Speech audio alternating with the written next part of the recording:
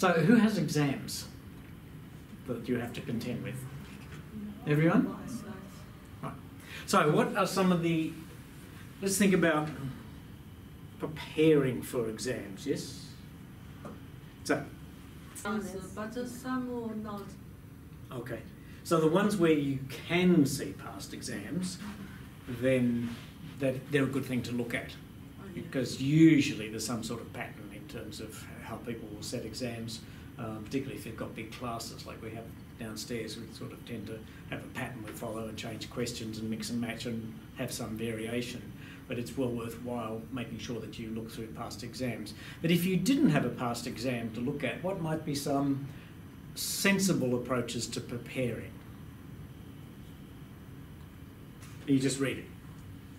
Yeah. Okay. Even had the past exam paper, I still reading book. Yep. So, and in terms of reading it, how active are you in reading?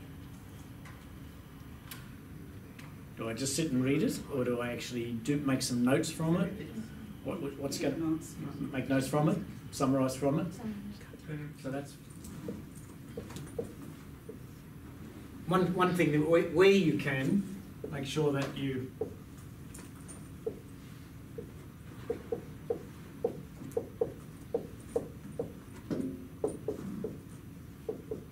because that gives you an idea of the flavour. But if you haven't got those,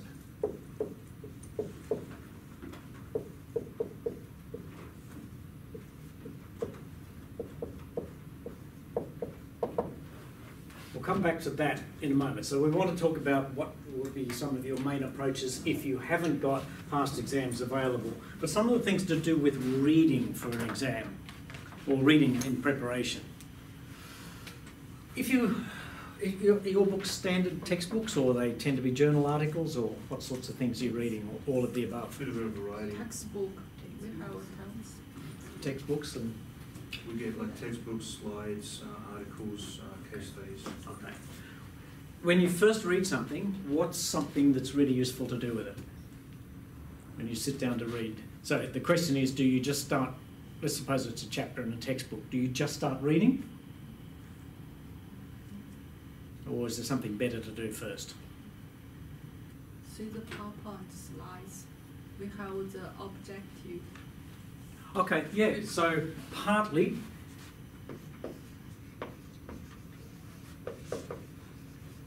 Is that legible at the back? Yeah. Yeah, okay, good.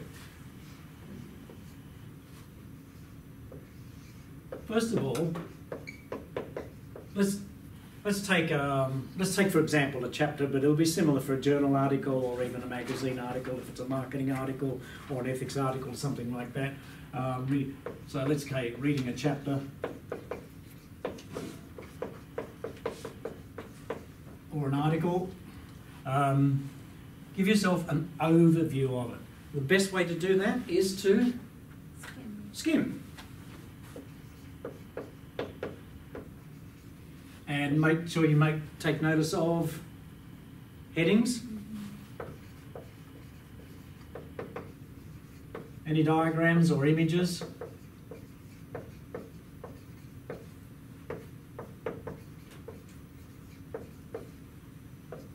Captions on the diagrams and images. A lot of chapters have at the beginning. What a, what a, a lot of chapters have at the beginning. Some intro. So it's usually, if they're well set out, they'll often have a point form intro. And they'll have a conclusion as well.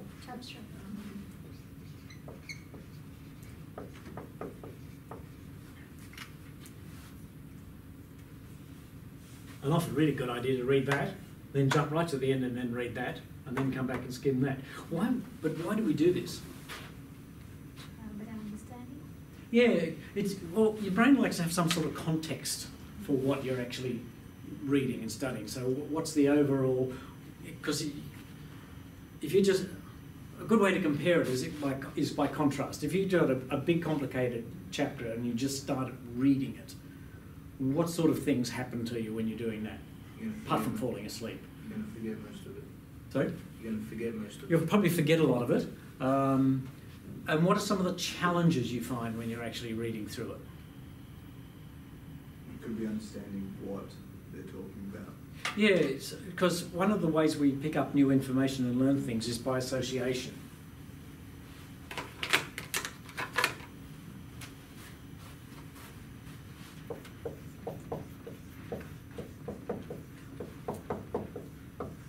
So we want to associate things to as mu- much as possible to what we know. You're familiar with this thing?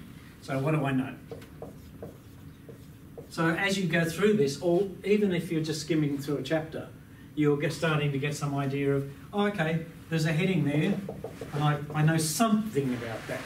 There still might be some question marks about what related to what you don't know. There's a couple of the things that you can do. First of all, you're wanting to get context for yourself. What's the thing overall about?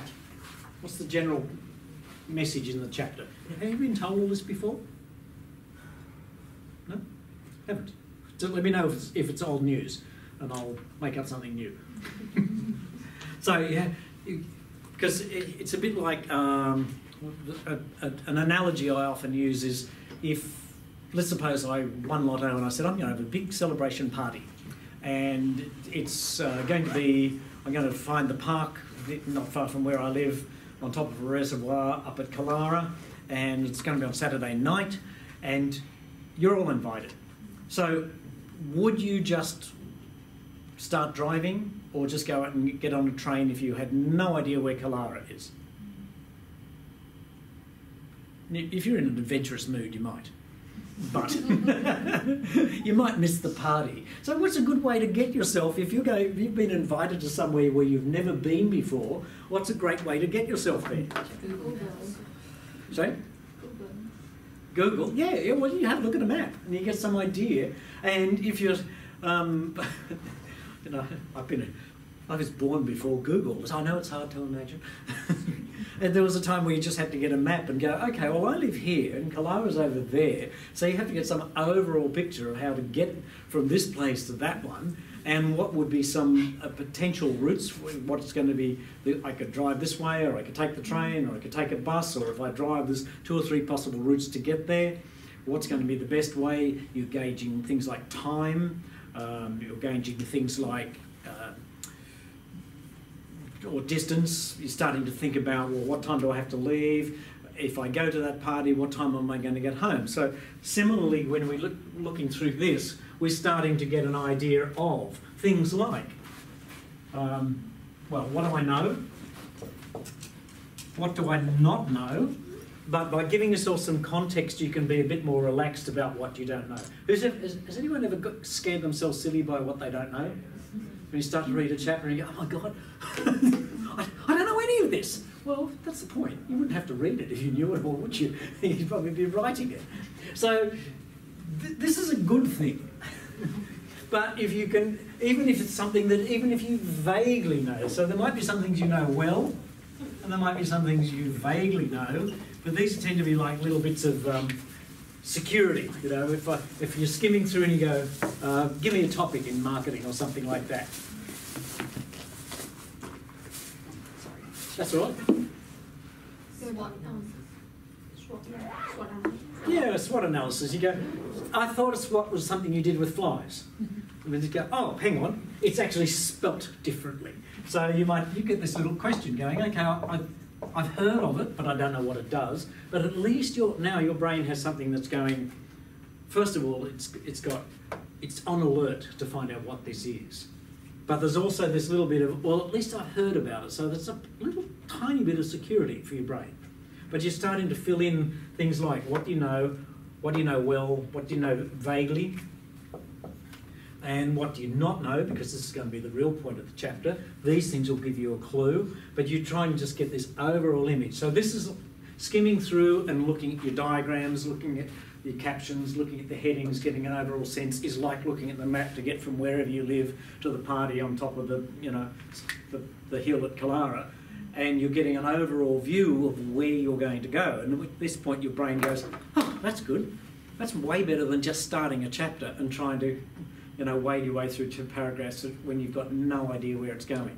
It really is, is quite, your brain actually needs some sort of direction to actually make the journey as easy as possible.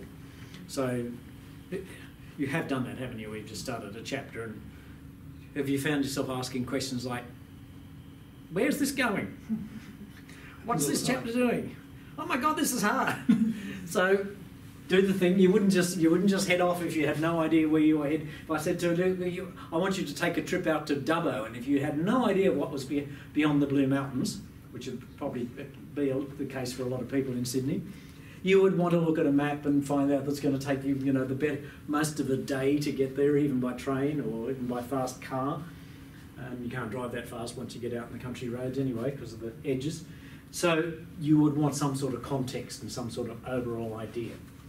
Um, once you've done that, what's the next best thing to do?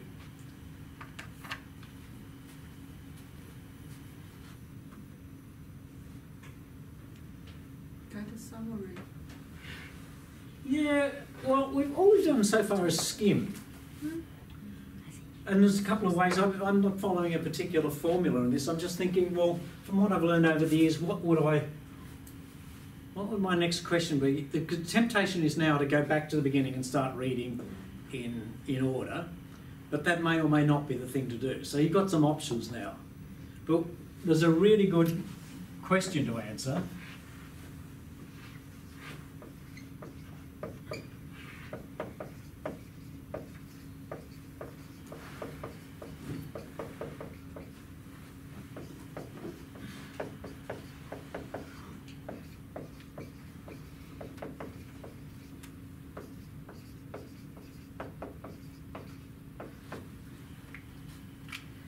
So, what's my objective? What do you actually? What's my objective for this reading session? So now that I've skimmed the chapter or skimmed the article, what am I actually trying to do? What do I want to get out of the reading session? So, if you're reading um, a journal article, what might be some different objectives that you might be um, wanting to get?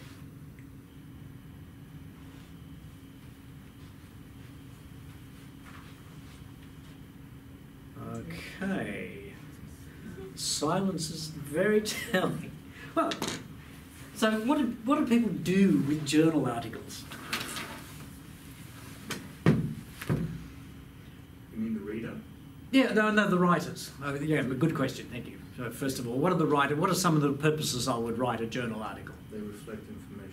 They reflect information and usually some research, or if, if it's a philosophical article, it might be an opinion. It might if it's a magazine, particularly marketing magazine, or an ethics, I imagine, there might be some philosophical and opinion pieces, and you'd be looking for the strength of argument. So, if, and you know, probably if I go back to a couple of years ago, well, it's probably three, two and a half years ago now, but up until I finished my PhD, there are thousands, millions of articles. You can, particularly now that we've got everything online. So you have to actually get to a point where you go, why am I reading this? Am I reading it just to get a sense of what the, the people are doing in this particular field are doing? Or am I reading it now to actually pick up some research figures, so I will need the detail? Am I reading it to compare this person's argument with that person's argument and go, okay, which one of these is a stronger argument, or do they both have good points? Or am I reading it just for entertainment? Um, am I reading it to actually learn stuff that I know I'm going to be asked about in an exam? And each one of the, any one of those different things will have you read in a slightly different way. You'll be doing a different thing, approaching it differently. So it might be that with the chapter, you'd actually, having skimmed through it, you go, okay, well, this is kind of cool. I'm actually just, I'm interested and want to read the whole lot. Um, but it might be at other times you go, okay, well, um, there's oh, there's a section on SWOT analysis. I know we're going to be asked a question about SWOT analysis. That's very likely in your exam, isn't it? So I, I might want to go, okay, well, let's have a look at this chapter's model on SWOT analysis, and then actually make see if the way they just describe what what S is for strengths, isn't it? Strengths, weaknesses, opportunities, and Threats. threats.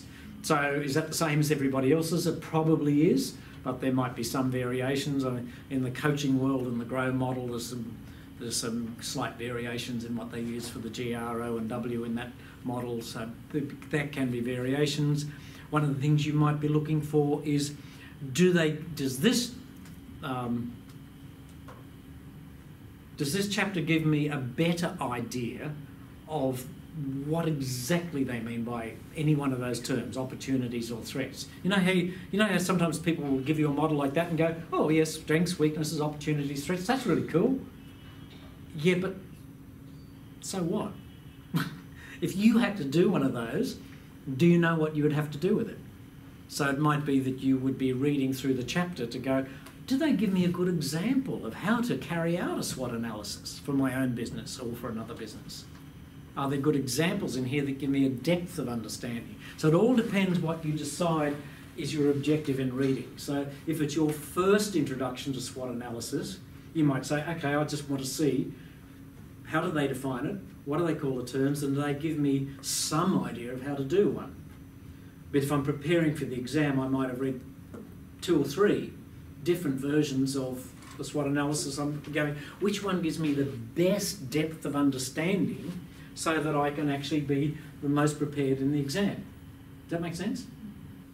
So this is, I mean, this just sort of came out of somewhere, but it's actually one of the most important things you can actually be deciding because once again, it's, it's now strengthening. This gives you some context of what the chapter's about. But if you're just reading it, if, if your only answer is reading it, well, I'm reading it because I have to. Did anyone just have a notice a change in how you felt even when you thought about saying that to yourself? If, if you've got a chapter and you're just going, oh God, I have to read this bloody thing, um, how are you, well are you set up for absorbing information from it? You won't take anything in from You won't, you won't take in much. You've already made the job difficult. So there's a huge thing that I could spend all night on. I'll probably keep coming back to it, but this is. So not only does this focus your reading and help you determine what you're going to get out of the specific reading, but it does reflect back to your mindset. Mindset, your psychology, your frame of mind, how you're actually feeling about it. Because if you just sit and go into it, it's like, okay, I've got to do this. it's not going to be terribly, well, the chances are that it won't be nearly as rewarding or, or useful for you as if you actually go, look, it's quite reasonable to, first of all to go, okay, well, yeah, I've got to do it.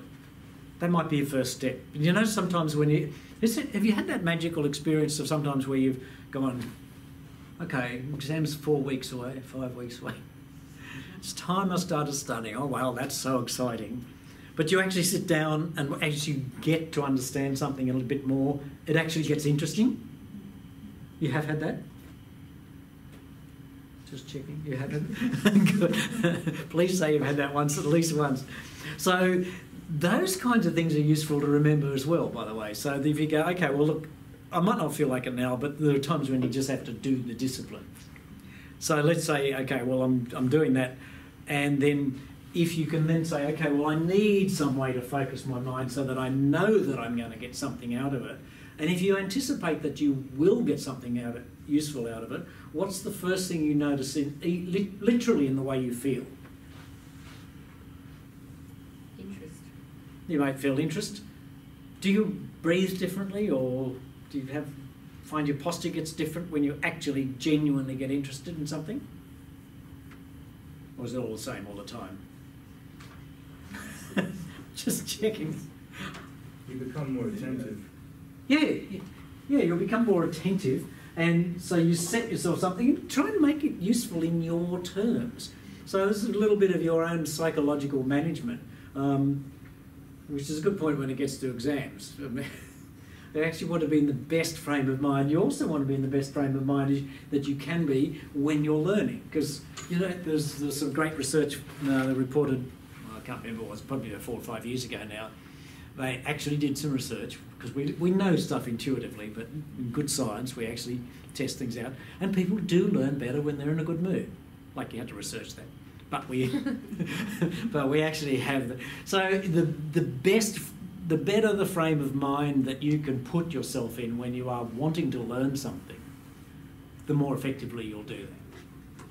Not like being hysterically happy. It's, it's, it might be just drug or alcohol induced. You know, that's something different. Uh, but if you're in a good frame of mind and you actually, particularly if you can allow yourself to anticipate that you, you one, you might learn something that you actually find interesting, but at the very least, something that you can go, okay, at the end of it, I can feel more competent and more uh, confident in my understanding of that by the time I've finished reading, then um, you'll be that, that sets your whole system up. Your body will feel better, and your brain will be asking a different type of question and absorbing the information in, in a different way. Okay. Um, questions at this point?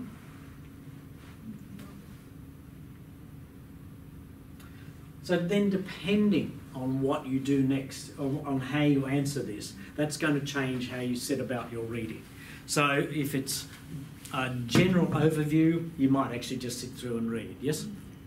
Um, it, if you're wanting to um, use it to get a depth of knowledge to prepare for an exam, what would be some good things to be aware of in terms of your course?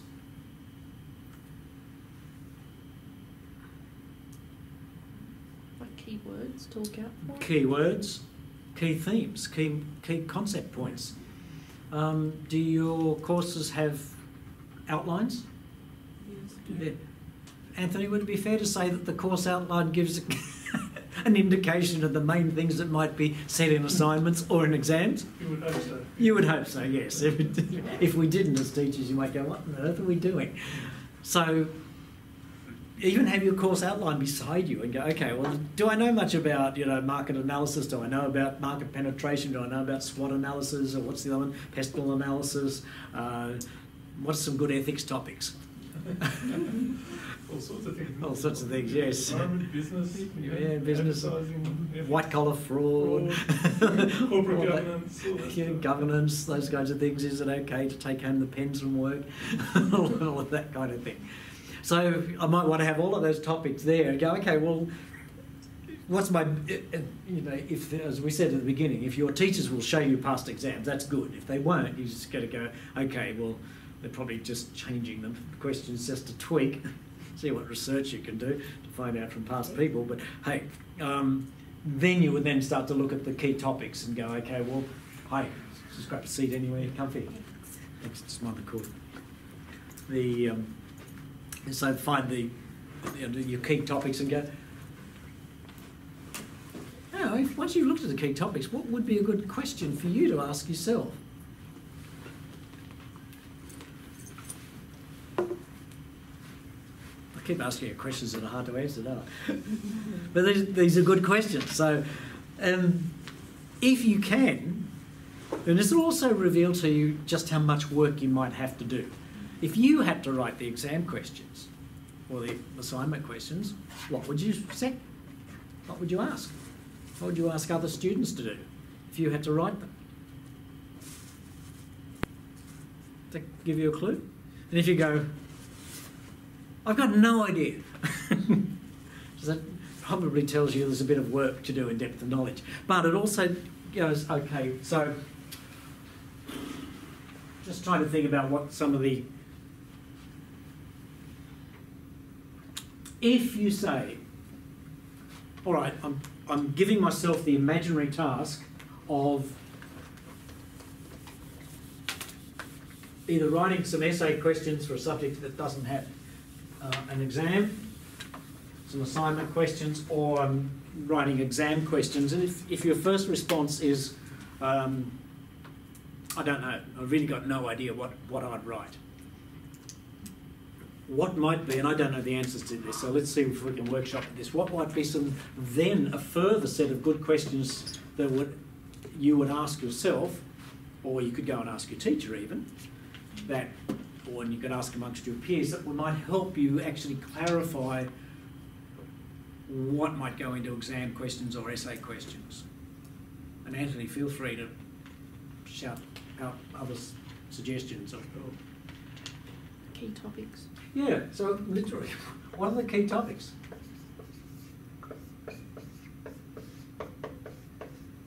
So these are the sets of You would want to know, has anyone gone into an exam and didn't even know what the key topics for the semester were? so, at which point you go, hmm, this is going to be an interesting discovery exercise. so you do want to know your key topics, but more importantly, what for each one of these, what do you want to know? What, what, At least an example. so yeah, yeah. What, um, I'm going to put that down there. So example. The learning objectives. Yeah. What, what are the uh, The theory for yeah? What, what are the key? What's the key theory? What are the real principles involved? So the, the concepts. yeah, are the principles and applying those concepts?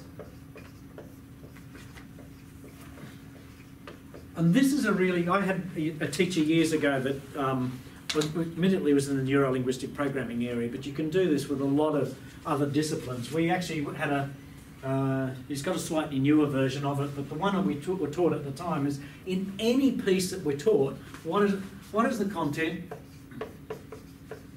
Oops, content. What are the principles involved?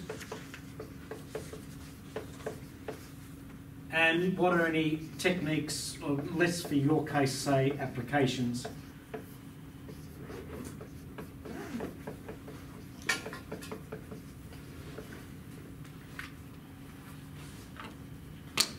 So that's a really interesting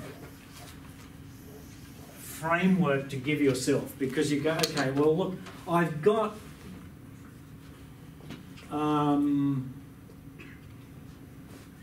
you could just learn examples and you could just learn some techniques, but you'll be much better at it and you'll be much better with unknown questions and questions you've never previously seen before if you're very clear about what the concept is and what are the principles involved in that concept. So the concept with something like a SWOT analysis, and by the way, this, this can be, this size can change, but let's take SWOT analysis as a concept. So bas- what's the basic idea of a SWOT analysis? Okay, who's doing the marketing course? It gives you an idea of where to go with your business. What are your strengths? What are your weaknesses? How you can improve on those weaknesses. yeah, the- so Internal and external. And I'm, I'm not a marketing expert, and even though I had 30 years self-employed, I still probably never did a proper SWOT analysis. But the concept is that you can actually you can uh, examine your business or any business from a range of different perspectives. And one of the perspective, one of the things is that businesses often um, sometimes just go, "Hey, we're really good at making up widgets and marketing those." And they forget about checking their weaknesses, and they might find that we've already the market is already flooded with widg- widgets, so there's a threat out there. Um, they might go, oh yes, but generation whatever follows Z will just love widgets, particularly if we make them pink. So they might go, there's an opportunity. So if they're only concentrating on their strengths and their opportunities, they might be missing weaknesses and threats, and therefore, what are the statistics like for new businesses, particularly self-employed people and small business? So like ninety percent fail in the first year. Uh, yeah, I'm not sure, but certainly something like 80 to 90 percent have Yeah. gone within five years, and I think most of them within the first year or two. So, and because a lot of us, you know, just start businesses and go, "Whoa, I've got this great idea," but yes, how well thought out is it? And every one of us has blind spots. So, one of the concepts, as I see it, oh, this may or may not be accurate, but you know, if I was teaching, go, well, look, we've got this concept called a SWOT analysis, which means there's a model for helping you examine your business and include perspectives that you hadn't even thought of or might actually not want to think about, but you need to. And then the principles are that you can look at strengths, weaknesses, opportunities, and, and threats. And then, then there'd be some techniques for how do you actually do that? What are some of the questions you ask? There'd be templates for working with it. Um, and you, you might want to see it applied to small businesses and large businesses. Does that make sense? Yeah, so what are our concepts and principles? Uh, what are the objectives in using this, please, in any one of these top topics? and by the way, that if you can, if this is in the course outline, or you can extract it from your teacher, what are the specific learning objectives? Oops.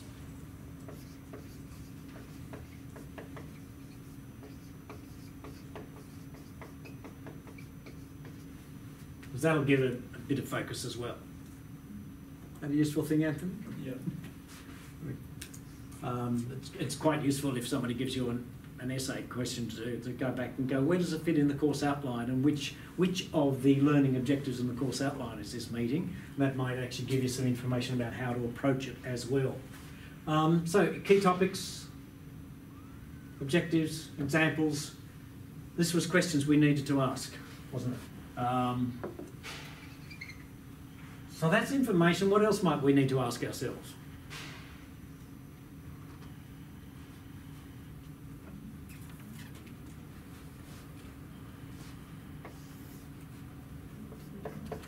This one.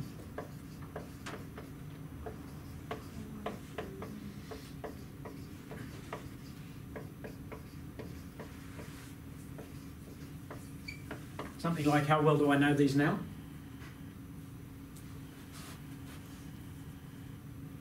And sometimes you need to be brutally honest, but also if you know it really well, or you know it reasonably well, it's fair to say that. Um, which leads to, well, so what else do you need to know or need to brush up on to do a really good job in an essay, either as a, an assignment essay or as an exam essay, to increase your depth of knowledge? Uh,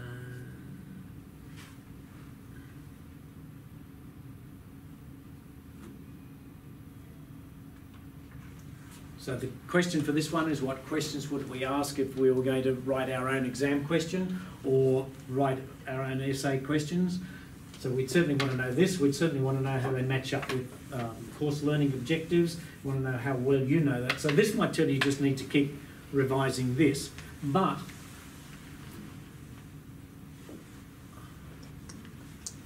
the next question from that would be something like, what would you need to do to show actual understanding of these?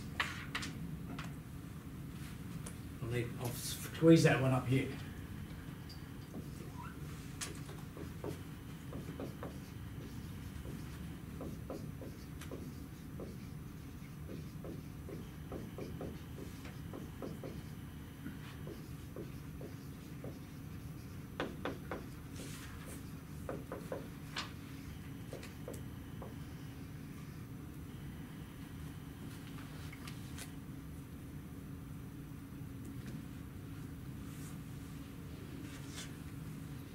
Have those three questions, well, three things.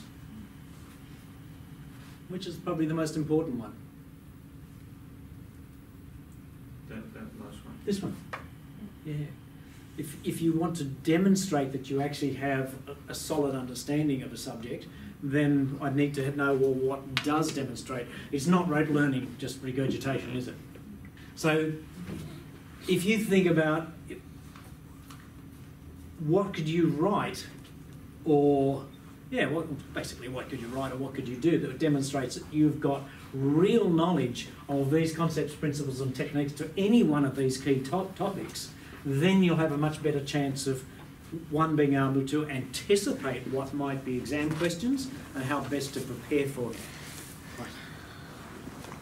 See you again. I should swing the camera and grab the people. All right, is that helping so far? I'm doing a lot of talking. When I notice when I answer a question, this happened last time. I did a lot of talking and I'd ask questions and people would just nod. Do you feel like a stand-up comedian with a tough crowd? um, yeah, but uh, well, only the difference is I haven't actually tried very hard to be funny because I usually am pretty tragic when I do that. It's uh, only the one-liners that work for me. Yeah, cool. All right. Let me see. So these should be for any of your essays and for any of your exam preparation. This should be questions that are, are, are consistently with you. I think that makes that's fair to say. All right, so now let me check where you want to go from here. Do you want to do more on the preparation, or do you want to do more on how you actually think when you're faced with an exam question, Could I, or I, all of the above? could I ask, sorry, Yeah. with the what to do to demonstrate understanding, um, if, if, let's say the exam was SWOT analysis, Yes. could you give us an example of what you have to do to demonstrate you understand SWOT analysis? Well, it depends on the question. that's that's my out. But I let me just see if I can make it up. And I'm not a, a, a marketing person. Or, or any, any yeah, other yeah, but, but look, let, well, let's pick it though because I've, and some of you in marketing can tell me if I'm miss, if I've got gaps in this. So it seems to me that an ideal question on that is that I would describe a scenario um, in a particular industry sector, and then I would describe a business, you know, probably a startup business within that context, and I'd say, you know, Fred has just discovered that he's really good at doing, um, you know, animation, but he really likes uh, mathematics. So he's decided he's going to start up an e-learning business doing e-learning modules uh, with animated stuff to make mathematics really fun and exciting. And he's just bought him. He's going to go out and buy himself a Mac Pro and spec it up fully. This will cost him about ten or twelve thousand dollars, and, and give you some a scenario about that. And so, based on the information you were given, what do you think uh, Fred's chances of success over the next five years? And I'd have to give you some, you know, either true or fictitious market projections and things like that as well. So that, and, and then the question would be, use something like using a SWOT analysis or using a PESTEL analysis or using both. Um, you know, explain to me uh, what you think Fred's chances of success are over the next five years. Is that a bit hard for a first year? Might be, but that's that's the sort of so. But I want to give you out of the information there. I'd want you to be able to show that you could actually fill out a, a template for a SWOT analysis, for example. At least come to some conclusion from that. Does that make sense? Yeah, there's probably nothing terribly new in that, really.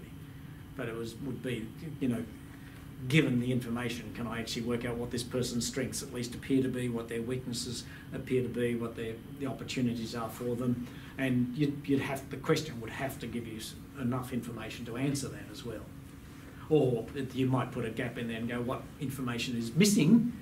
So I might give you a whole lot of information about his strengths and his weaknesses and his threats, and not give you much about the opportunities. And so one of the parts of the questions would be, um, so what else would you need to be able to do? To, what else would you need to research to be able to complete a quality SWOT analysis? And you go, "Ooh, don't know anything about what the marketplace is doing and what his level of opportunity is. I think that kind of covers it, really. So, in terms of demonstrate understanding, a lot of these things in marketing again and uh, in ethics, add in if I need to, um, they're going to come back to me. Can you take all these principles, all this lovely theory you've been learning in class, and I describe to you a business situation, and can you tell me what's at play in this? What concepts uh, would help you analyse the business, uh, assess the ethical performance of the business um, from whatever perspective? Because there are a number of perspectives we could look at in terms of, you know, governance or just straight fraud or um, philosophical. Just you know, you could have that whole discussion. I think that was in one of the first sessions we did. You know, something might be legal, but is it ethical? So that's a huge question in some cases. So with with any one of these things, what are what are the principles at play, and how well can you identify those principles in any given scenario? Whether it's just a thing with numbers, or whether it's a description of a um, particular industry sector and a business within that. Make sense? Did I answer the question? Good. So,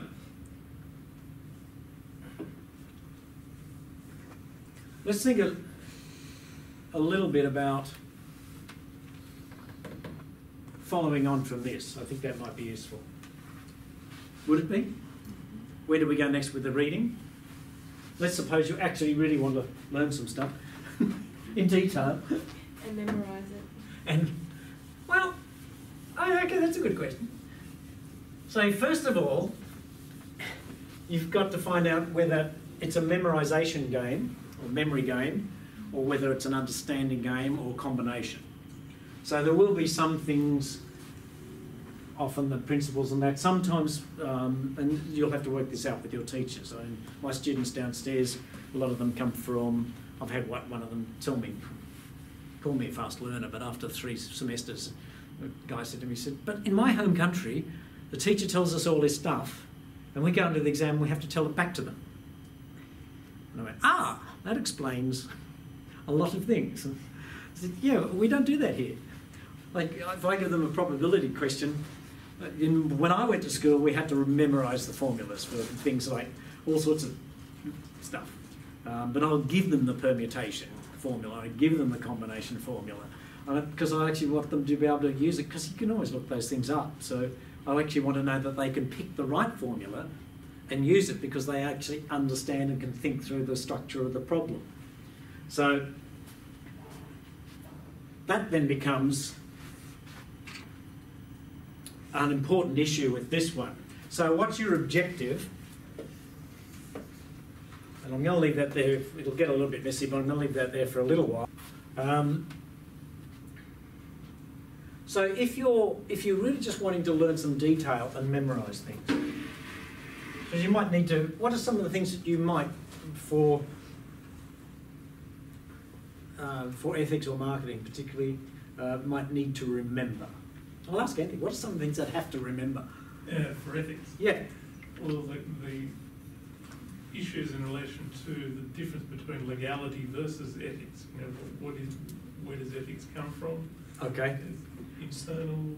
So are there strict definitions for those things, or is it more a, a, framework for them? Generally a framework. Yeah. generally. So if I was looking at it, so I'd want something like, um, well, I'll put this down as, as possible. So there'd be frameworks. Yeah. And I'll put it in, in these terms, framework, frameworks that, that define. Is that a reasonable thing to say for.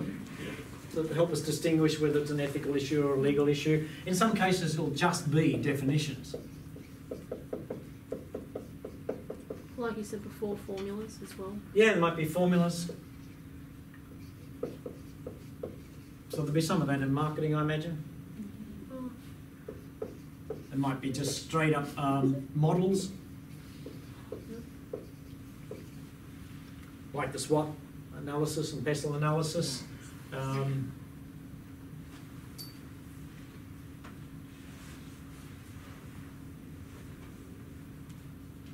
I don't know how to put this one down, but it, it's that. Might, you might have to come up with a wording of something like concepts. So if I've got the, well, I'll ask, if I've got the concept that legality may be different from being ethical, is that a, a reasonable one to put up? Yeah, In some circumstances? That, that we use is like rules-based accounting, you know, you, there's, there's rules associated with it. but- Yes. But at the end of the day, compliance with the rules does not necessarily mean that the, the outcome is ethical. Exactly. So I've got, so I can start with a concept, for example, rules-based accounting. You might want to know what's one that there are rules. Do they need to know what some of the rules are? Not necessarily for ethics. If you're doing accounting, you in your accounting subjects you will, um, but you'll also know that it's going to be useful to know some accounting terms in this, isn't it? Um, what's a good way of hiding a liability that you don't want to show? I don't know if it's a good way, but it's, done. I had one accountant that I got rid of that did it. Understated. So Understate the liability, so it's worth less than it actually is. uh, you could understate it, or you know how you have your assets and your liabilities. Or classify as something else. Yeah. And I've, let's say I owe two thousand dollars over here, and it'll go in as a credit in my accounting column, won't it? But what I could actually put it over here as as an asset. it just has a minus sign in front of it. And if somebody's whip, whipping through, and particularly as accountants don't put minus signs, they, they just do, you know, that kind of thing, which is weird to a mathematician like me. But they'll, they'll do that, and it's like, oh yeah, okay, and you just, if somebody's in a rush and there's no auditing going on, it's fairly easy to disguise a liability that, you know, as a negative, you know, negative asset. Um, I don't know about easy, but it, it is done. Maybe it may be harder to do now than it used to be. But uh, yes, I, I had one accountant who did that. And fortunately, we got rid of him after a while. So so the concept is here, the principle is that there are guidelines that you could just follow those guidelines and you're doing everything legally, and then um, you might have, for example, so a great thing to have here as we as we follow on to make sense of it and start linking to your real world knowledge is examples. And depending on how what type of thing you're learning, whether it's formulas or models or definitions, um, that'll depend determine how detailed that is. Probably none of this is new, but hopefully just setting it out and these kinds of things. So we want to know um, the key principle here. So if you can actually work out, well, look, I've just got the concept, by the way, will usually just be a topic, and the principle, principle in this case, for example, is that there are there are strict rules, but the way you apply them can be done in different ways.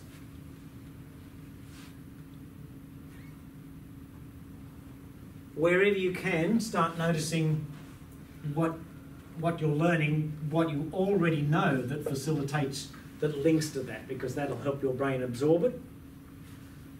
And then you add on the differences.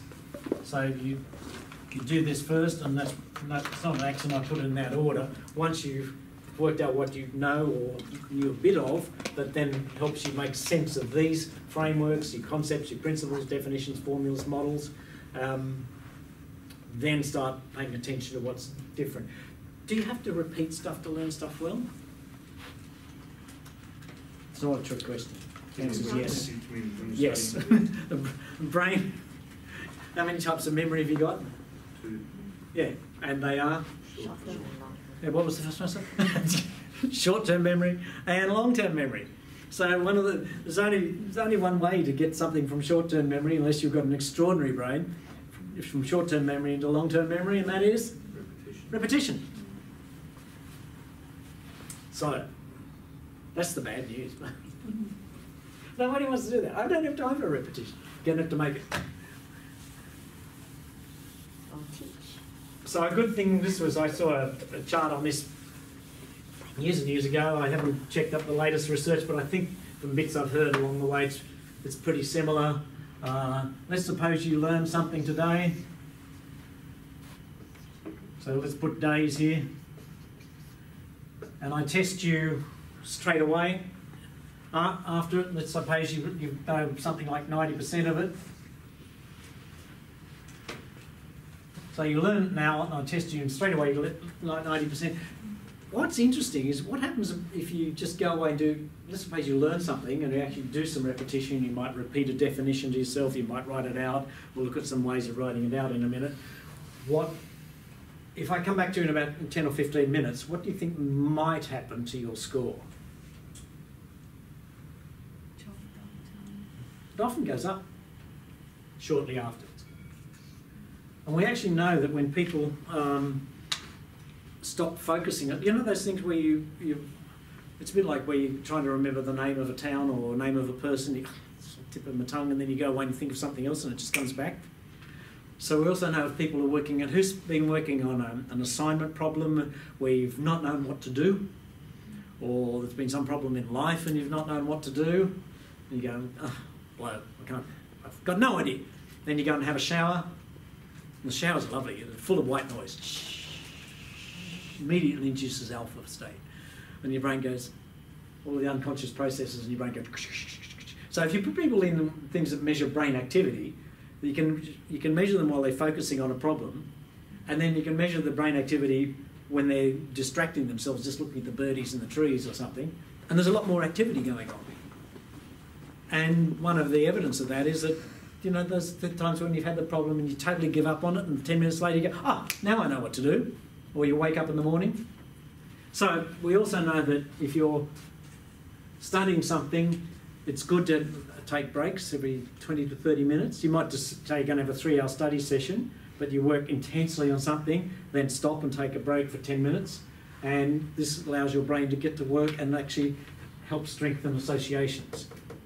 But so that's only about 10 minutes later. But one day later, if we don't do anything, I've forgotten the exact figures, but if it's about five to seven days later, you're down to about 20%.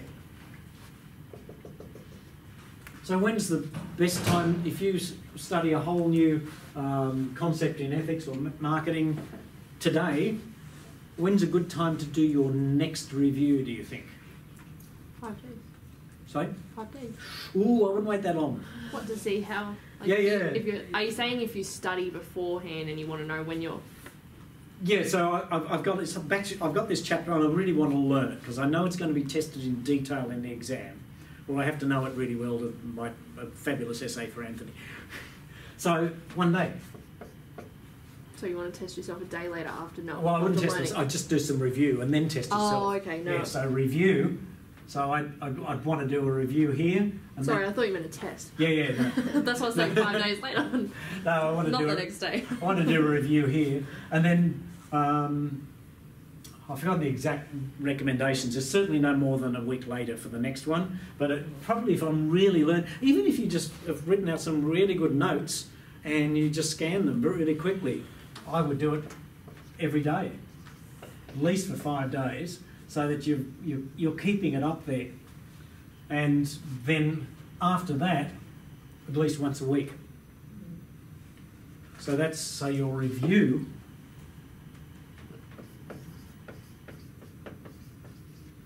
Yeah, okay, yes, but I can't read the whole chapter every day. I don't have that much life to spare. So what do you do? Make good notes.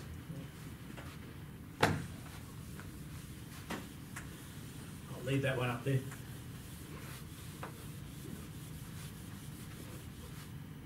Is that new? Have, have you heard that before? Okay, that's important. Now, ideally, because we're doing a lot of stuff off the cuff, if this was going to be repeated again and again, I, I would have some nice, neat slides that I can hand out to you, but we are recording it. So if anyone wants to swear at me later, just let me know and I'll turn the video off. or if I want to swear, I'll turn it off. Won't do that. Won't do that. It's too much fun. Um, but you need to think of two. We need to think about what works for our brain. So, your notes.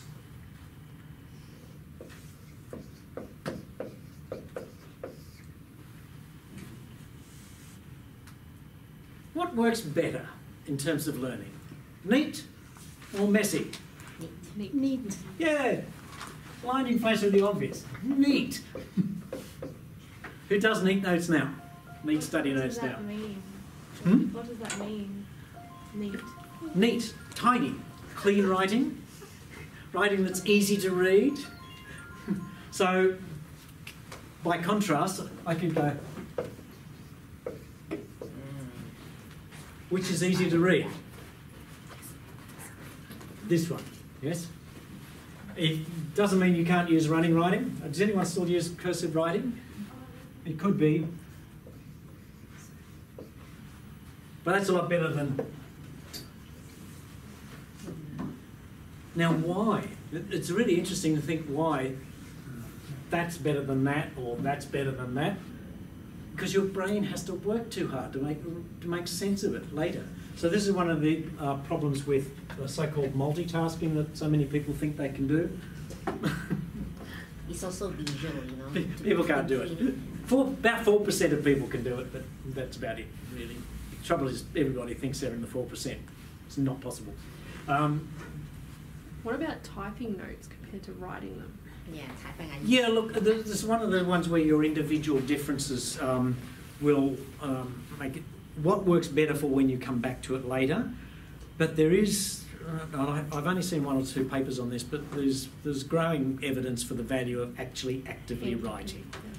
So, I mean, even and I, my my personal advice and current thinking on this would be, even if I make messy notes by hand first, so that I know what I'm going to type up later, Yeah. then that, that becomes part of my repetition process. So feel free to make messy notes, but then do either a neat set or type them up or do them in a mind map or some sort of uh, piece of software where you get nice notes. But there's huge um, benefit from the physical engagement when you actually have to write. I went to a workshop, I think it's a good point to make, um, and I think it was quite good what he said, because if the test, if, if when you're doing the exam, if it's a written exam, you should do your notes writing, if it's a typed exam, you should do your type, you know, it's typed because you'll, you'll remember it better. Yeah.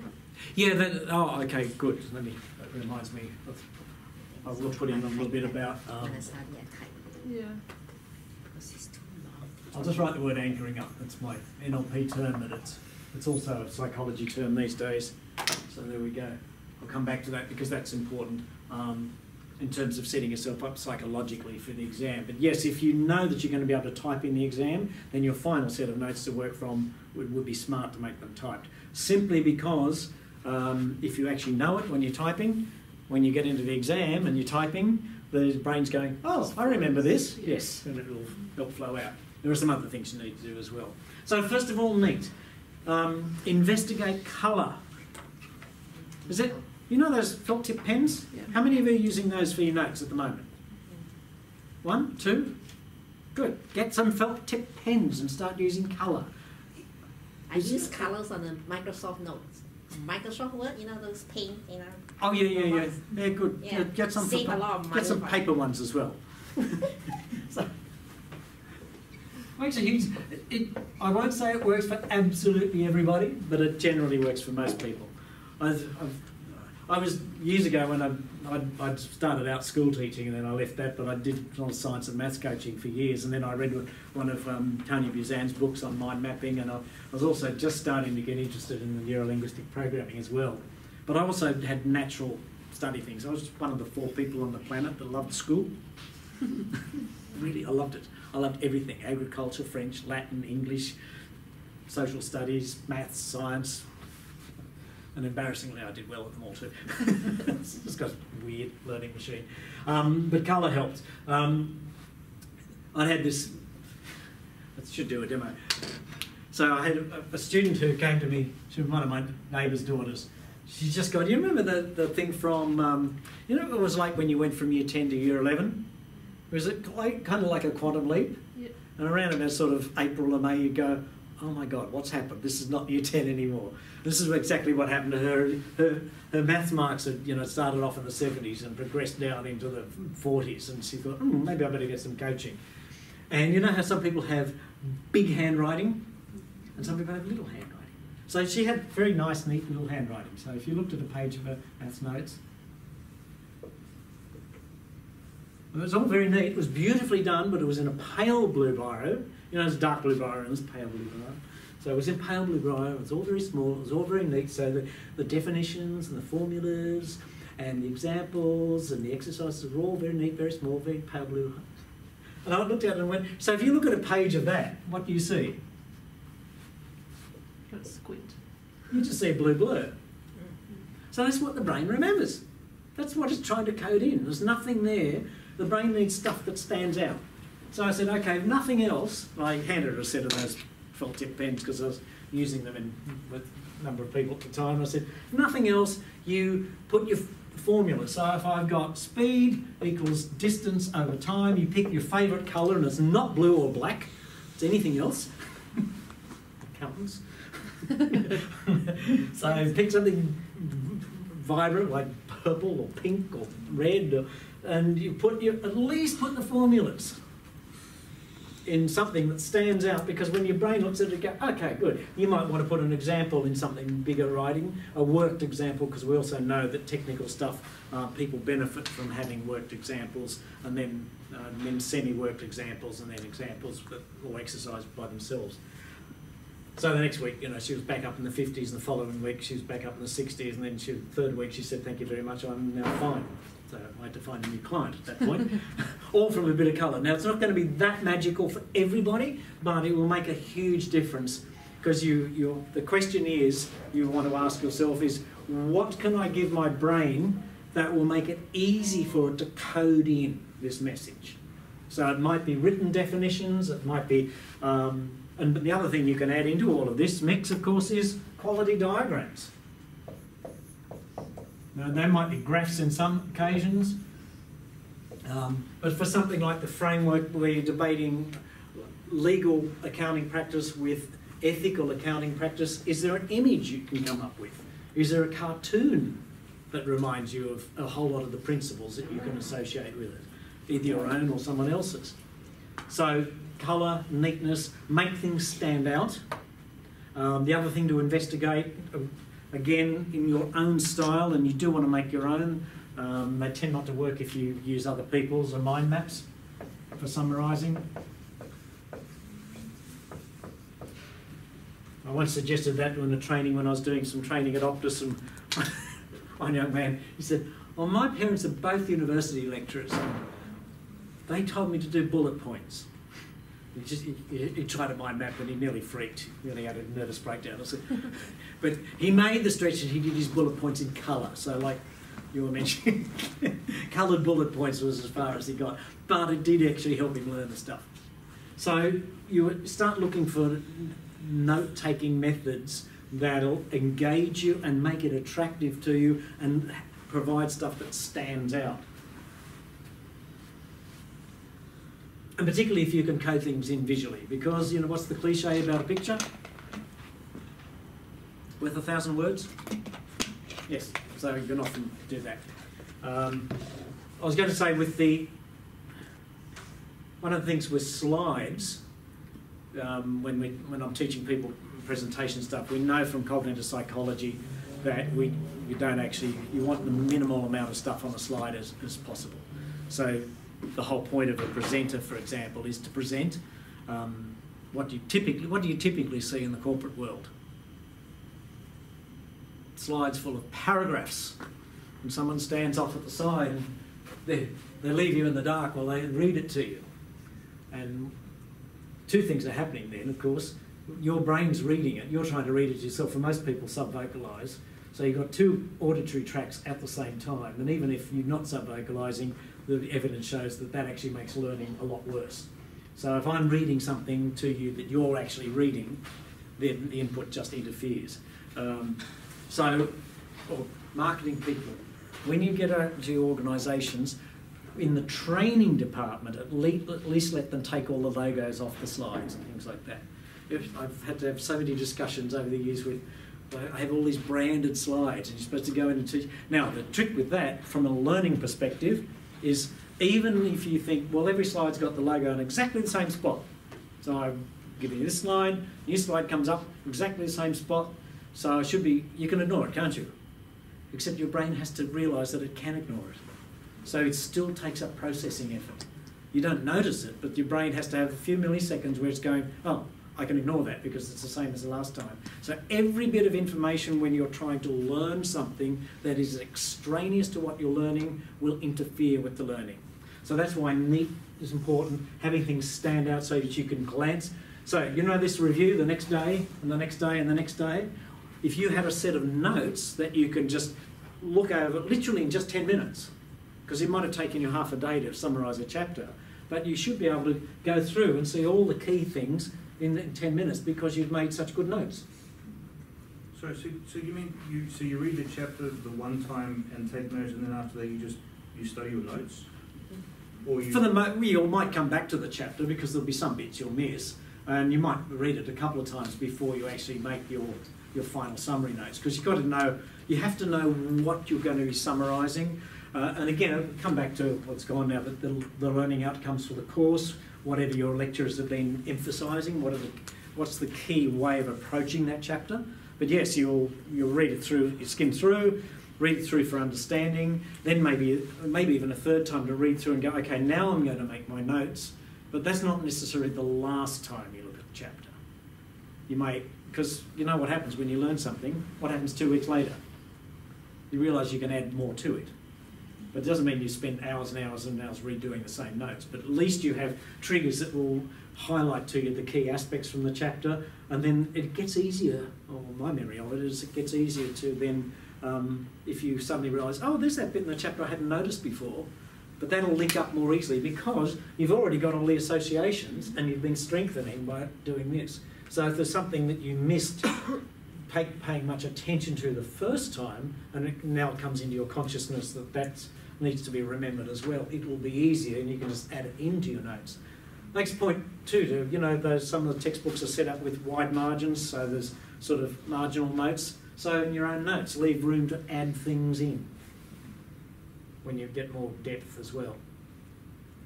So just sitting and reading, you'd be a rare person for whom that works, by the way. Sit and read for entertainment, sit and read just for, if you've got, um, well, it's like, what was that, um, that report you had to do where you had to do the marketing one, where you had five journal articles or magazine articles. So you, first of all, you just read them to get an idea of what, what are the, what are they covering and how well do they cover the concepts and then I'd probably have to reread them again to, to look for the details and start making comparisons with that kind of What do you think about ebooks and listening to those? um. Well I use uh, yeah yeah um, I, I, don't, I haven't looked at a lot of research on audiobooks but you you could have those around I'm not sure how well they go for learning detail but certainly if you're listening to them you know while you're doing the washing up or something the question then becomes how much you're actually paying attention to them so I'd be a little bit hesitant thinking that I could, I'd learn a lot from an audio book. E-books, yes, I had to, when I was doing my PhD, a whole lot of books I wanted just weren't available here, so I had to get Amazon e-books to make it affordable. Um, but they're- fine, but again, it's sad because I've got, a lot of my books now are e-books, but the problem with an e-book, how much can you see? You only, you've only got that little bit, and you don't even get the other side. There's a whole lot of peripheral contextual information in a printed book. But we're going to have to be working with ebooks. But if you, you try and get the best readers, you know, Adobe Acrobat or read on big screen so you can at least see two pages, find an app that allows you to, to flick through quickly like you can with a book when you want to go from this to the references and then back again. So work with those kinds of things. I'm,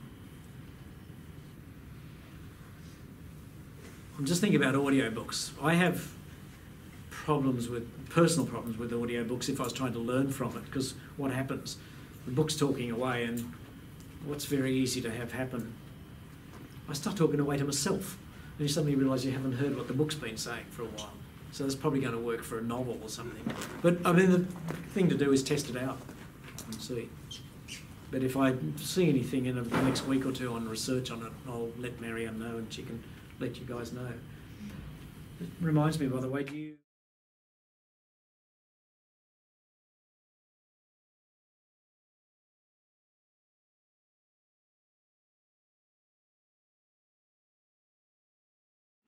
That looks like it might be close enough to 10 minutes, is it? Okay, let's continue. Any quick questions? There- There are a couple of things about, in terms of mentally preparing for exams. And I've just emphasised this bit again about handwrite at some stage, because of that, that, and I want to follow up and see for some information in terms of how exercising your fine motor skills helps your cognition, but I think that was at least implicit in one of the articles that I read on this. Um, at the very least, if you're writing something, it's very much harder to fall asleep while you're doing it. So, and, and particularly if you're asking your question, and if you go for doing your own diagrams or things like mind maps, or even if you're just thinking about, you've got a whole paragraph, what one word or one phrase would summarise that paragraph most effectively for you? To do good notes, you have to be keep asking yourself questions like that. So, you know, what what's the best summary phrase? What's the best summary keyword that'll help me remember the whole, the main idea from a whole paragraph? And that, that writing will actually help you stay engaged in that process as well. So that's strong recommendation. Um, good. One thing about preparing for exams. Who loves exams? What's wrong with it? um, so first of all, in terms of your preparation, I've mentioned this term anchoring, and it's um, your brain does interesting things. Hi, I only just started. Your brain does interesting things in terms of associations with state of mind and state of body. I don't know if I mentioned this. I've taught a few groups recently. So memory is state related. So this is something I was taught years ago in the NLP world, but I've since discovered that it's now um, in the cognitive psychology literature and it's well established that memory is related to state. Um, so who's been out? And some of you may or may not drink. if you don't drink, you probably know people who do. Um, and who's been out and you know been on one of those one of those world solve world problem solving conversations after a drink or six? and you come up with this great idea, or you might have an idea for an assignment, or as I do with one of my colleagues in Melbourne, we have a great idea for training projects um, when I was still trying to market training projects. And you'd be two or three beers in, and then the next day you go, We should have made notes. You done that? I can't remember what that idea was, but I know it was really good at the time. Now, embarrassingly, this is this is not an exhortation to become an alcoholic, by the way. What, and this is in New Scientist, Stephen. When you, what, what, what makes it easier to remember the good idea? Drink again. Have a drink. yeah, it's preferably after midday. Um, so the next time you have a drink, often the idea will come back.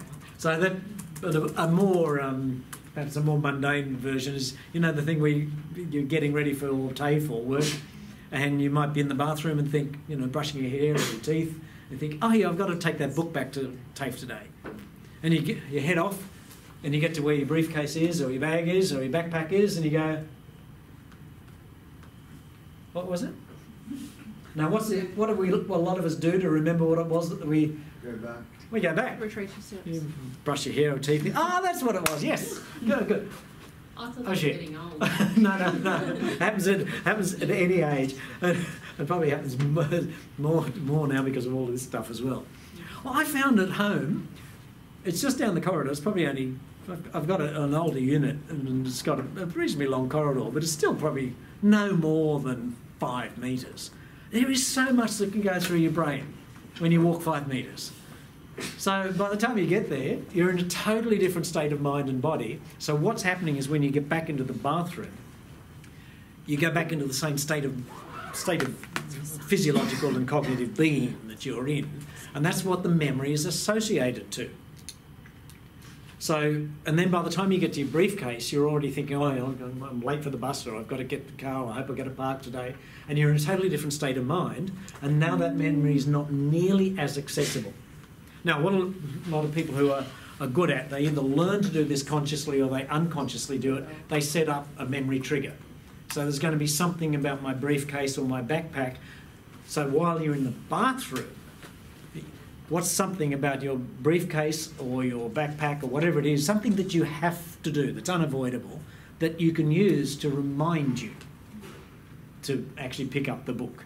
So, having seen Harry Potter, if I have to remember to put a book in my briefcase, I put a big imagine. So please don't tell my friends this, or the rest of this. I put a big imaginary book. You know the howlers in Harry Potter?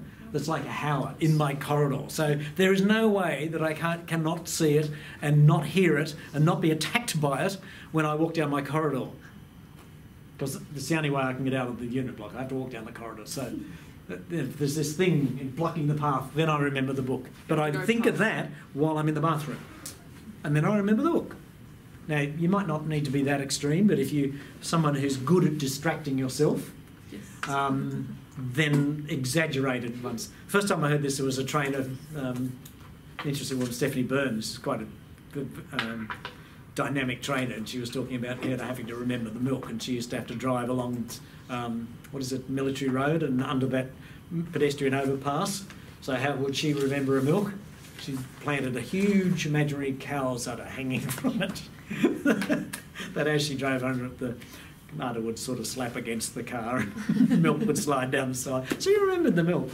Not a So- yeah, this person in um, at work, they'll leave their car keys in the fridge to Oh, yes. remind them to get the, the groceries. Yeah, yeah. My aunt used to do that when she used to visit too.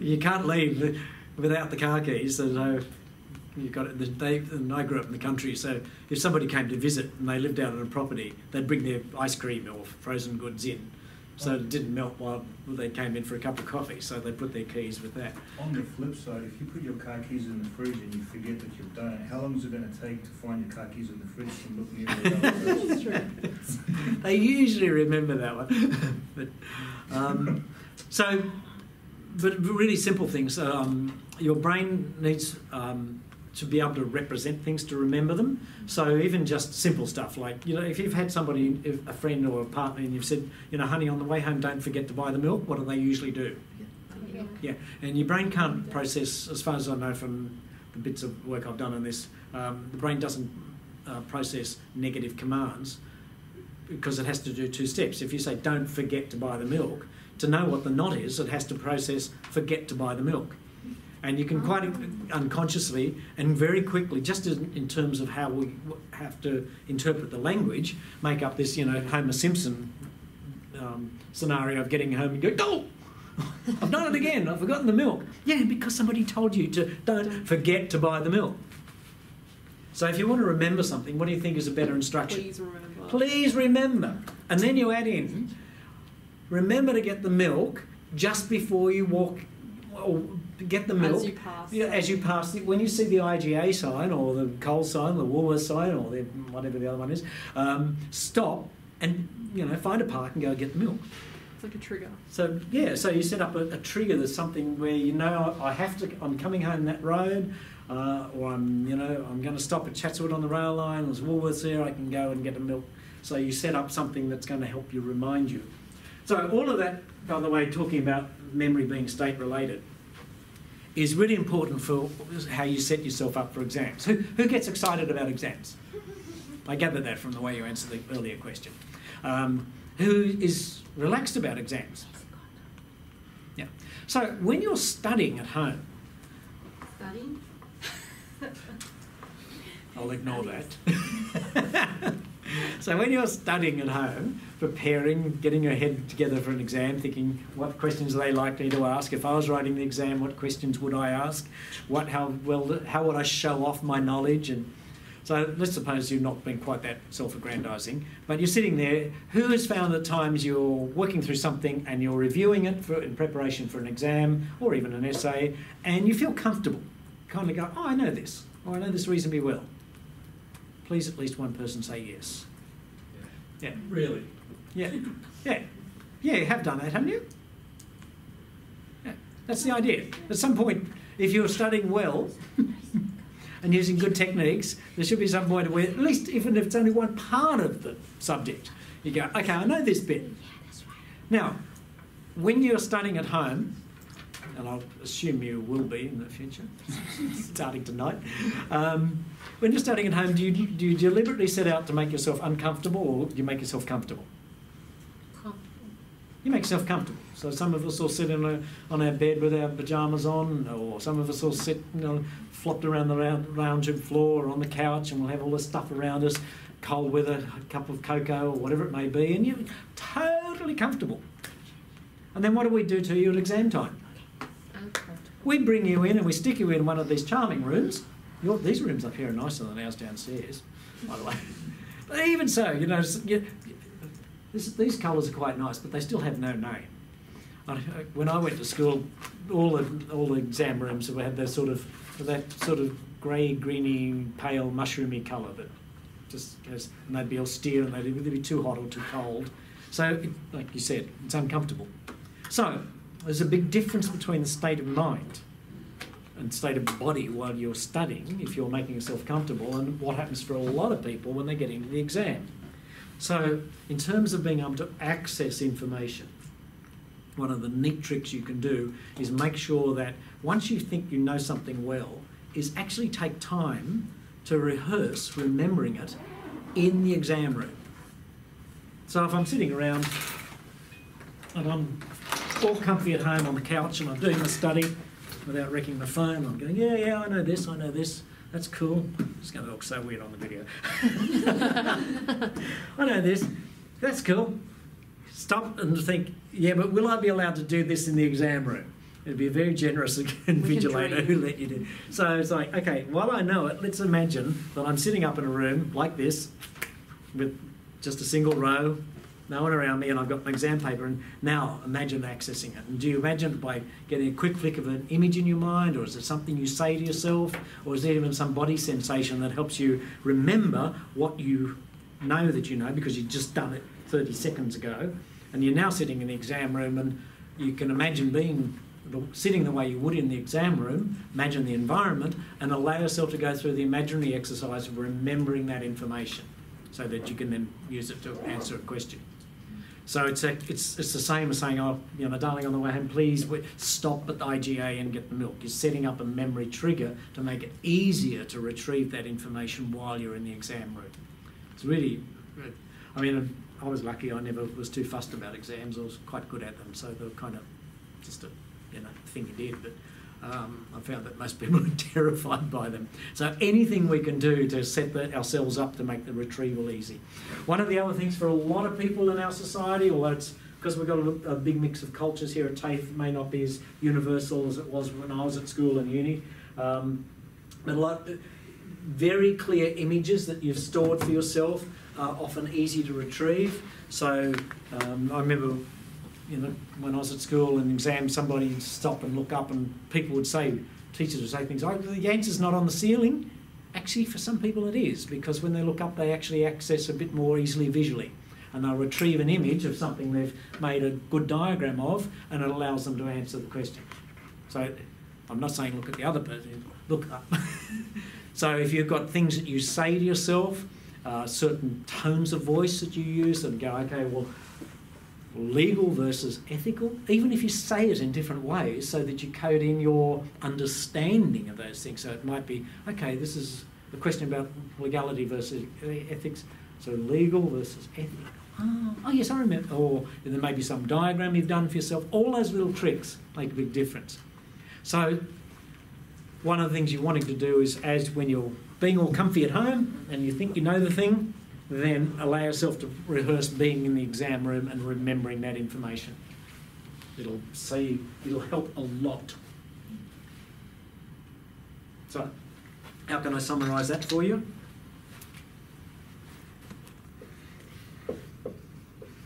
So, you know, here, here I am, sort of.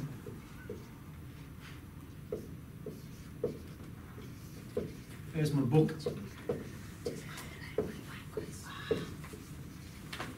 What I want to do is get that nice, comfortable state of mind rehearsed in the exam room. Yes.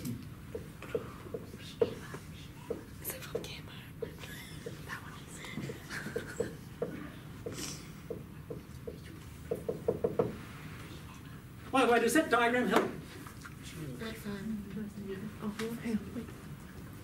Why? Why does that diagram help? Because it's a visual, not, not just. One is a visual, and it's also that was me on. this is going to be your memory of it for years. so I've actually sort of re- redone what I, I, was acting out here to actually so that that gets linked to the, the actual story about how to set yourselves up for an exam. But also there's this transfer. Make that smile a bit more obvious. There we are. Bit freaky, but that'll do. Good. So memory state dependent. So make sure that you are, well, you're nice and comfortable or relaxed. You start setting yourself up to remember that kind of thing in the exam. And remarkably, you'll probably find you get a lot more comfortable doing exams and thinking about them as well. Okay, what do I need to help you with now? Would you, would you, would you go as far as saying, I mean, this might be getting a bit too specific, but if, if, um, if that's the case, and if it's the case, if you think of something in the bathroom, and then you forget about it, you go back to the bathroom to remember it, Yeah. would you go as far as saying it'd be a good idea to try to arrange, if possible, to actually have study groups in the actual TAFE classrooms? Like when the TAFE classrooms aren't being used? Yeah, that would help. That, that would be beneficial? Yeah, yeah. Yeah, it would, actually. Yeah, because if, you, if you're sitting around studying stuff together and you do it in this, in this room and you go, "Hey, I'm, I'm so totally clear about this, guess what? The room's going to help you remember that. Yeah. Good question.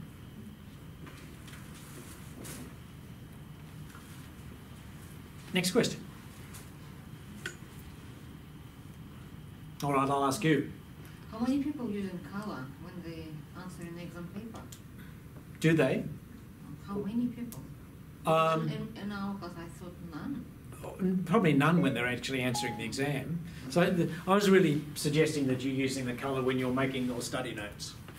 Um, and it depends. I haven't seen any teachers, and I don't do it, do it myself. I don't expect people to, to use colour. And It's not expected, isn't it? no, it's not expected. And Is it and- allowed? I don't think it's allowed. They normally request blue or black anyway. Yeah, well, we normally because we want to mark in green or red. So, um, but there are ways around that. It would depend what I was teaching. Um,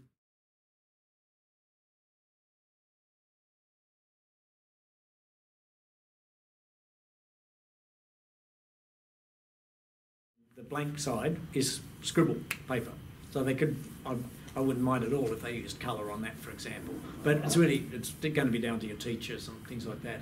If it was something like um, I can imagine wanting to use colour in a marketing exam. Your teacher probably doesn't, but I can imagine there could be a case for that kind of thing. If I was teaching art, obviously. so you're faced with an exam question.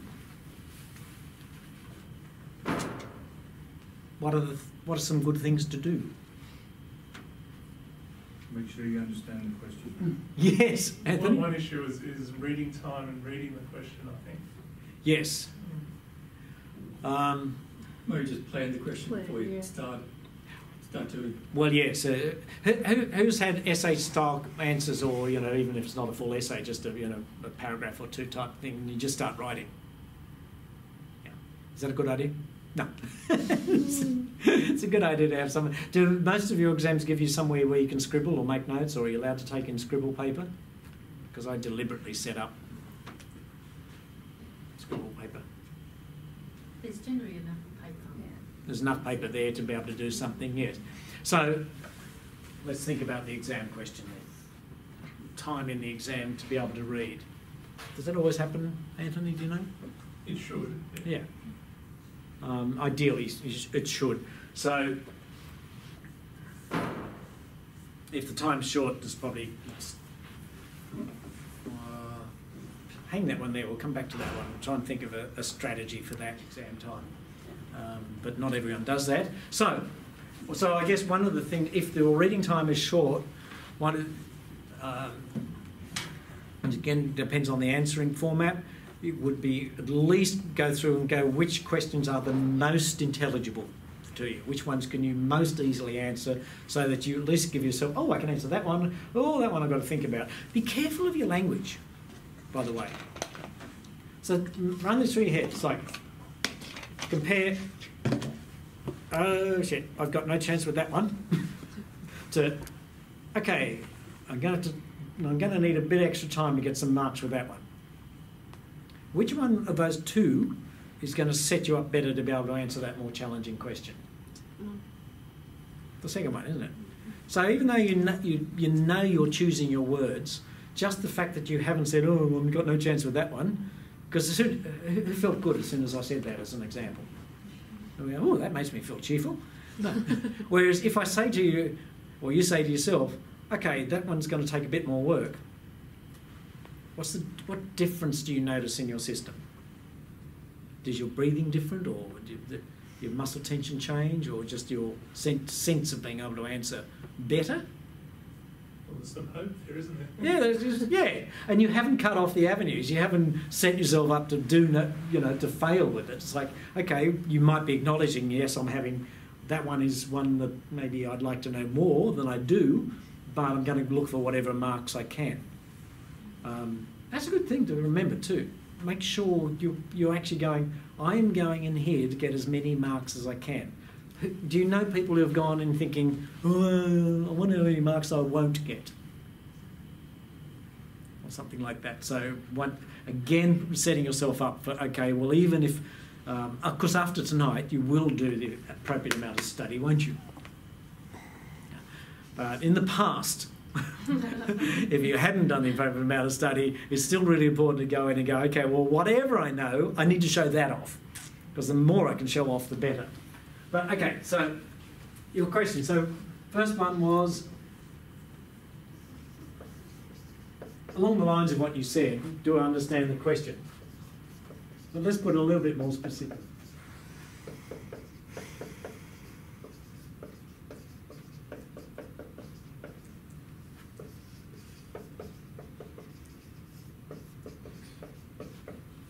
What exactly is the question asking for?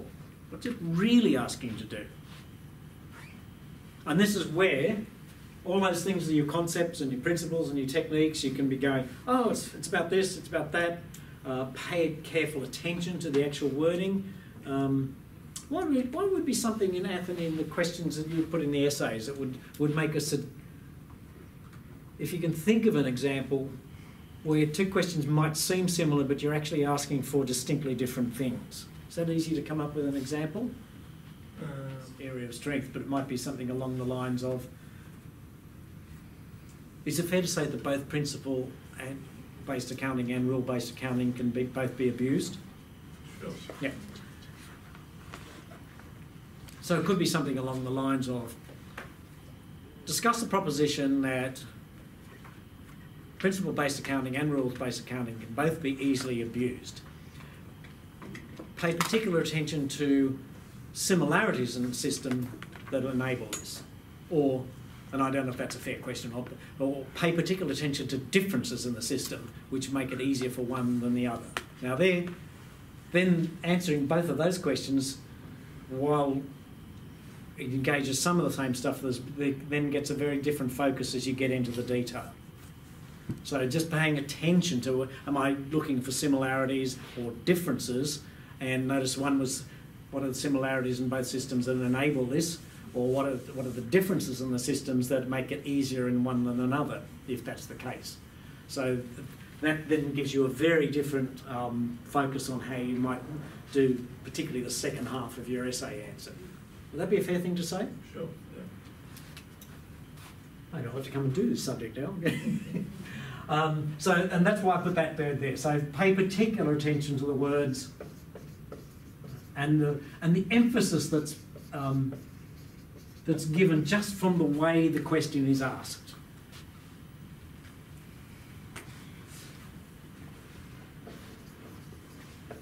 So, what concepts and principles are relevant? I mean, a lot of this you'll do intuitively, but it's useful to have just the point where you don't answer straight away. You read the question and you actually start to, you particularly this question, and then that's got to lead you to answering this next question.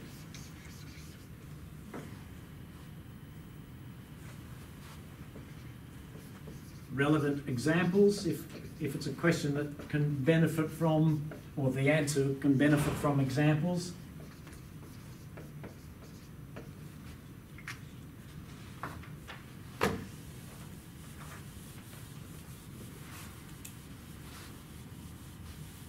And if you've got space, which I hope you will have in your exam papers,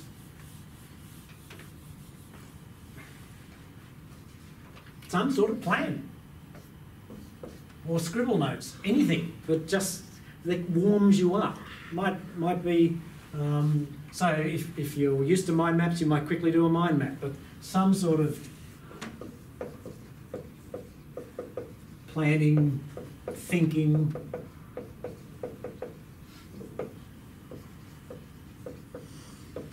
warming up notes. Might be a mind map. Might be just, okay, I've got rules based, I've got rules, I've got principles. Um, this is the accounting styles. Um, and there might be similarities. And you might list a few differences. And there might be examples of fraud. You might, if it's relevant, and just quickly, if you've got any form of planning space in your paper, quickly jot something down like that. And the, the two or three minutes it takes to do that, in most cases, will be well worth it rather than just diving in and starting to write with. Because what do you, even though it's sort of implicit here, the key question is you've got to answer, and this will help you do it rather than just starting. You want to know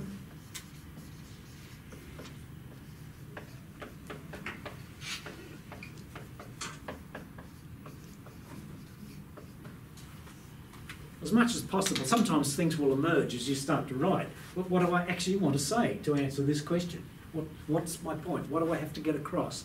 And what, and as some of you found in writing your essays, if I've got this clearly, guys, oh, okay, right now. So, if I, if I was answering this, um, do I start with similarities first or differences first? If it's relevant to discuss both of those things. Would it depend on your argument? It will depend on my argument, and it depends on the way the question's asked. So if I go back to the one where I've said, um, what are some similarities between these two that allow that, I might ignore the differences, or I might have a, a short paragraph about key differences are, but in this case, the, the overriding similarities that allow that, and then I'll have that as the second half of my essay. Whereas if it was the other way round, I'd say while both uh, forms have these things in common, what's particularly significant in my view in allowing you know, model X to be more open to fraud are the, these following differences, and then for these reasons. So it just changes the whole order. Uh, so it's been very clear, you know, because this can't be answered without answering that. Um, but then the, your flow and your, the way what you're going to emphasise and the, your point you're going to make that's going to impress your teachers is, you know, being able to use something like this to very quickly go, okay, well, it makes sense to talk about this first, then that, then that. Uh, Does that help? Yeah. Without actually giving you an exam question to work on in 10 minutes?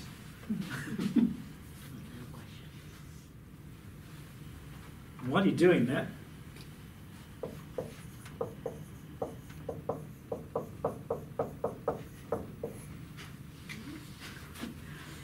you can look after your body during exams. Oh, having said that, what else am I going to write there apart from breathing? Drink water. Oh, yeah, hydrate. That wasn't it, but we'll put that. Look to the ceiling. Not so much that you have to run out for a pee all, all the time through the exam, but you know, do you do want to be hydrated? Wet brains work better. Um, posture. Think about it. What's one of the main things that your brain work uses? What what fuels it? Blood. Blood. Blood. Yeah. What does your blood take to it? Oxygen. Oxygen, yes, and the oxygen is used a lot in metabolizing glucose. When you're at rest, I think it's still something like 40 or 50% of your um, energy is being used by your brain. So when you're sitting in an exam, you're going to be using more. But to ac- actually metabolize and work well and, and think about your you want to be organised to support your brain in thinking. So if I'm sitting over the desk like this and I'm trying to write my exam paper like this, what's happening to my state of it's already affecting you. what's happening to my state of mind and my, my body and my cognitive functioning? Oh, am I helping it or not? No. No, there might be a rare person for whom this is suitable, but is it easier to breathe like this or like this? Now, if you're used to sitting in chairs like this, or like this, or like this, you might want to start practicing a few weeks before the exam to actually practice posture changes. Um, I mean, I sit like this because I do.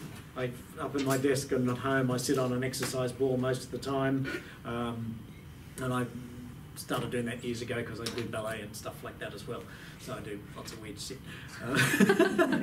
Uh, um, this supports the body really well. Best thing about an exercise ball is that you actually have to work. It helps maintain core strength even while you're working. Just love it. But you do have to be careful. I remember I was telling one of the, I was working this, the trainers came back one day, enthusiastically had just come, come back from his OH&S uh, training, um, or work health and safety. And I was sitting on it, that was one of the organisations that allowed me to take my exercise ball in to sit on. And he, he, came, he came in, he looked at me on the exercise ball and said, oh my God, that's so dangerous. and I said, oh? He said, no, it's really bad for your back. I said, he said, I've got a friend who wrecked his back. He got one of those, and it, he's, he's now got a damaged back. And I went, so, and I'm thinking, I've been doing this for a few years. So like, I said, let me guess. He heard that it was good, he got it, and then he tried sitting on it all day or all afternoon or whatever for, for first time? He said, yes. I said, well, he's an idiot. That's like going in, if I went into the gym and I tried to pick up 200 kilos and do a deadlift for 200 kilos. The, the little muscles that hold your spine, if they're not used to sitting up straight, it's a lot of work. And so they, you have to coach and train your body. So it's like, well, if, you, if you're not used to sitting up and having kind of posture like this, guess what you probably want to do? How long do you want to do it for the first time? Oh, about five minutes. and then maybe, you know, go for a few times of five minutes, then see if you can get it to 10, then see if you can get it to 20. So build up to it. It's, it's because the, the, the little muscles that hold up the spine that run from vertebrae, vertebrae, they're doing a lot of work. So, and if you overwork them too quickly, it's, it can be massively damaging. So that's that's my disclaimer on that. But I am, it is very important though that to have a, a posture that facilitates your thinking and you're being able to attend to what you're doing in the exam. And that's also something, remember going back to going from this where you're studying and feeling comfy and you're starting to rehearse for the exam, start rehearsing the, Sorry, Andy. that, no worries, we're just about done. Thank you very much. My pleasure. Um, so it's starting to rehearse a posture that's going to support you in being attentive and being sharp in the exam and being having a chance to enjoy showing off what you know.